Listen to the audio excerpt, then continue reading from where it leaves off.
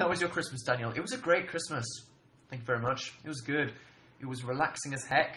I micromanaged it. Once my family forgot to buy cranberry sauce for the Christmas dinner, and I was so horrified.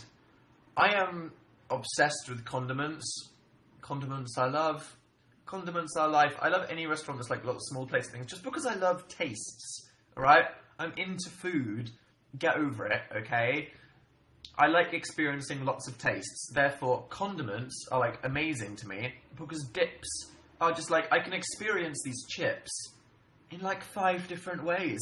So like having the gravy and the bread sauce and the cranberry sauce is so important to me. And once my family forgot to, and I was just so I was like, "Mum, I respect you, but I need to help do the Christmas shop because I can't ever trust you ever again." So you know, with me being involved, it was it was good.